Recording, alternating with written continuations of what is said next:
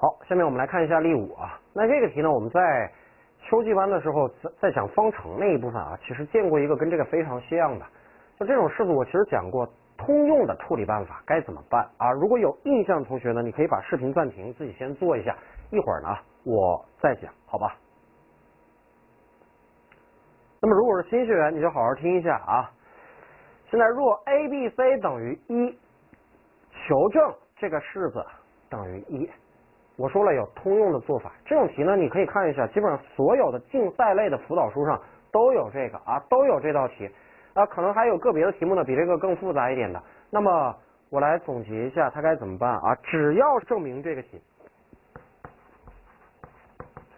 上来第一步，首先我们第一个式子不要变啊，第一个式子不要变，那就是一加 a 加 ab 分之 a 不要变。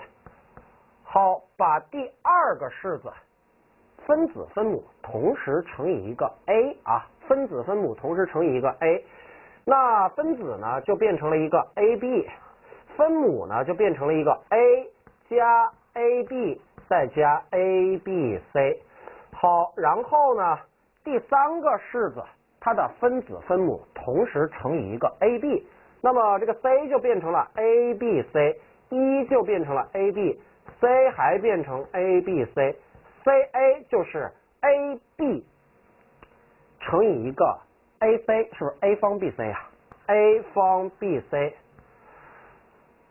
可能有同学会问，哎，说老师，我怎么知道第二个乘以什么，第三个乘以什么？我为什么第一个不要变，后边两个分别乘这俩东西？这个我一会儿再解释啊，我一会儿再解释。我如果这样乘了，大家看一下，我们达到了一个什么样的效果呢？其实第一个呢，你还是可以不要变啊，一加 a 加 ab 分之 a。第二个，你有没有发现，我们可以把它变形一下？因为原式给了一个条件，不是原题给的条件，a b c 等于一，我是不是应该可以把这个 a b c 换成一啊？那就是 a 加 ab 再加上个一分之 ab。哎，当我写到这一步的时候，有没有同学发现第一个和第二个的分母怎么了？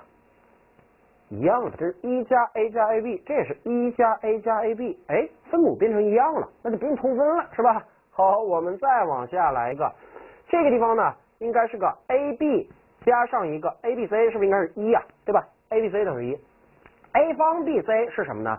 是 a 乘以 abc，而 abc 又等于一，所以导致这个地方是不是就是个 a 分之 abc 也别写 abc 了，是不是分之一啊？哎，大家看一下有没有发现第三个的分母跟前两个也一样了？我，也是一个一加 a 加 ab，而且还有一点什么好处呢？你有没有发现我们的分母不但变成一样了，分子是不是正好也是一加 a 加 ab 啊？这个东西如果要做加法的话，就是一加 a 加 ab 分之一加 a 加 ab，有没有发现就完了呢？它是不是等于一的呢？对吧？等于一的。好，那我其实已经把这个题讲完了。同学们肯定会问，夏祖峰这个题我是不是得死记硬背啊？我就得这么干？不一定的，你要明白这里边的原理。我为什么第一个不变，第二个乘以 a，第三个乘以 ab？好，那么下边呢，我们来总结一下啊，总结一下。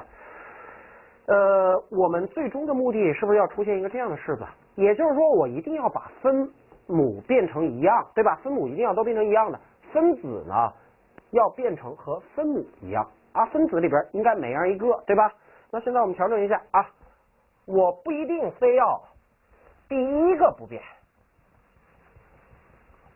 我其实也可以第二个不变啊，我也可以第二个不变。那么第二个不变的时候，先把它照抄一下，应该是一个一加上 b 加上 bc 分之 b，对吧？好，现在想一想，第三个它的分子分母得同时乘以什么？好，第一个分子分母得同时乘以什么？你还记得我们的目标吗？哎，我们的目标是不是一定要让这个分子啊和分母一样啊？你有没有分子里边已经有一个一样的了？这地方是个 b，哎，这个地方是不是也有一个 b？所以它肯定是代表跟它一样的。那我这个里边的 c 是不是要么就这个 c 啊，要么就变成一，要么就变成 bc？你想一想，它能不能变成 bc 呢？c 如果要变成 bc，乘个 b 是不是就可以了？c 如果要变成一，它应该乘以什么呢？它是不是应该乘以一个 A B 呀？对吧？因为我们 A B C 是等于一的，所以你 C 乘以 A B 就变成一了。所以我们 C 呢，它有两种选择，它既可以变成一，也可以变成 B C。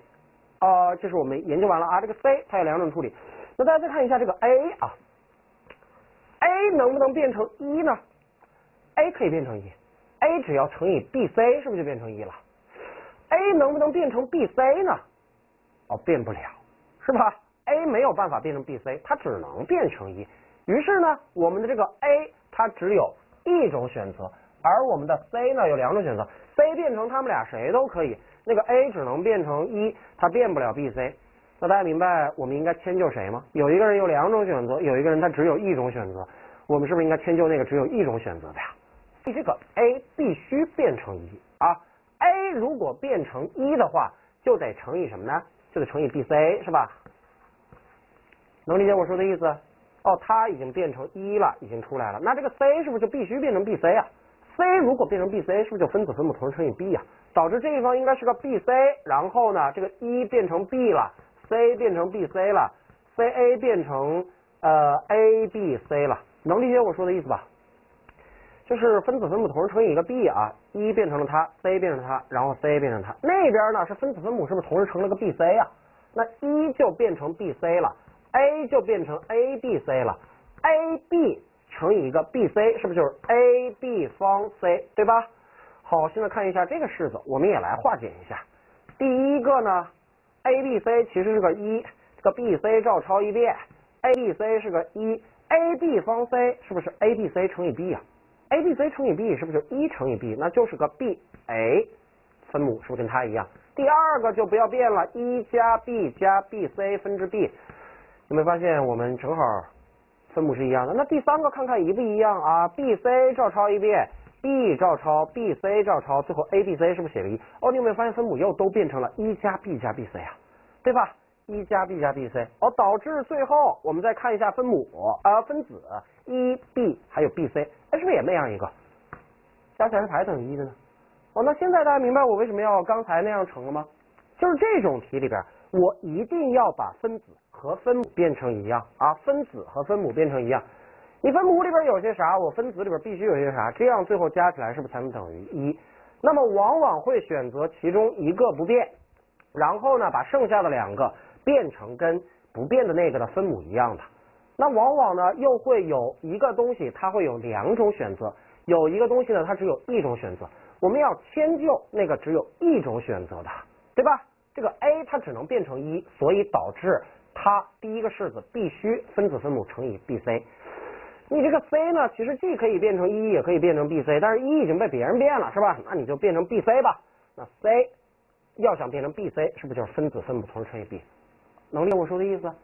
呃，其实大家明白我刚才第一个解法是不是第一个不要变，变的是后俩，对吧？我这第二个解法是中间这个不变，变的是他们俩。那大家明白，其实也可以哪个不变吗？也可以第三个不变吧？哎，我这个不变，那你想一想啊，我们简单处理一下吧。如果是第三个不变啊，第三个不变，这次我不讲完整版啊，我只需要你明白一点就可以了。第三个不变，我们在这儿应该是一个一加 c 加 c a 分之 c，哎，你明白 c 和 c 已经都出现了，对吧？所以我这个里边的 A 和 B 必须一个变成一，一个变成 C A。现在想一想，A 可不可以变成一？可以吧？乘一个 B C 就行了。A 可不可以变成 C A 呢？也可以，乘个 C 是不是就行了？所以这次轮到它有两种选择了。你的 B 可不可以变成一？可以吧？乘一个 A C 是不是就行了？B 能不能变成 A C 呢？哦，变不了，是吧？B 变不了 A C，所以它只有一种选择。大家明白我们这次先迁就哪个吗？迁就第二个是吧？迁就第二个，迁就那个 B 哦，B 只能变成一，所以第二个分子分母是不是得同时乘以一个 AC 呀？哦，第二个分子分母同时乘以一个 AC，他们就这个 B 乘以 AC 是不是就变成一吧？所以它搞定了，那导致第一个 A 是不是必须得变成 AC？那就分子分母乘以什么呢？乘以 C 啊，它乘以一个 C，下边那个也乘以一个 C，最后效果肯定一样。一定是分母变成一样了，分子和分母还长得一样，最后加起来肯定等于一啊！你不信的话，你可以试一下啊。你可以试一下。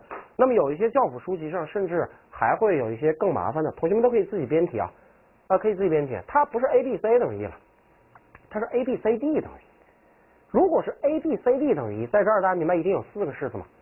四个式子，同学们想一想该怎么办呢？哦，我一定有一个是不变的，然后剩下的三个里边肯定有一个它有三种选择，有一个它有两种选择，还有一个是不是只有一种选择？那一样的，我们迁就那个只有一种选择的，然后迁就那个只有两种选择的，最后去迁就那个有三种选择的，导致这种题最后像这种东西加起来往往都是等于一的啊，都是等于一的，好吧？同学们都听明白了吗？那把这种题要记下来啊，要想明白，哎，要以后再碰到这个，你要明白该怎么操作，好吧？我就说这么多。